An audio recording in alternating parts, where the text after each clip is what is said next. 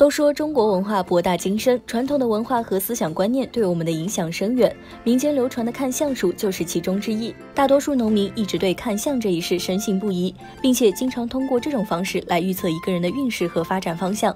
民间看相的方式不一而足，除了最常见的看面相之外，看手相也是其中一个主要方面。农村有种说法叫做“三岁看大，七岁看老”。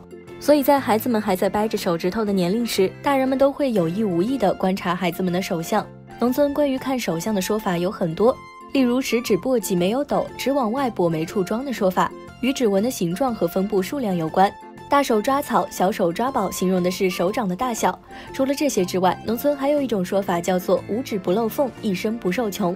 这句俗语又是什么意思呢？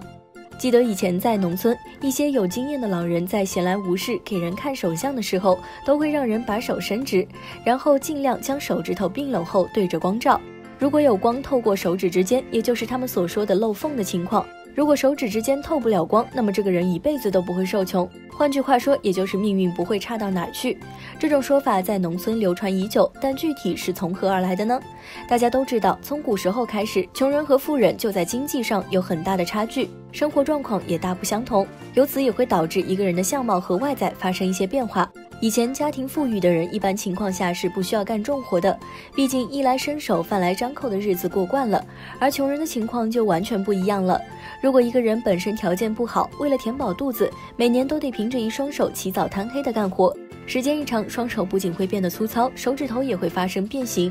这一点从农民的身上也能看出来。不管是在农村老老实实下田种地的老农民。还是在城市工地干活的农民工，他们的双手不仅粗糙，手指头也是歪歪扭扭的。这样的指头缝隙不仅会透光，就连大米都能从中间露出来。正因如此，农村才有了“五指不漏缝，一生不受穷”的说法。在农民看来，手指合起来不漏缝的人，干的多半是不费体力的脑力活，这样的收入待遇都不会太差。另外，如今在农村，老人们也经常用这句话来教育后人：做人做事都要牢靠和抓紧。你觉得老祖宗的看相术有道理吗？如果你还有其他看法，欢迎留言和我们讨论。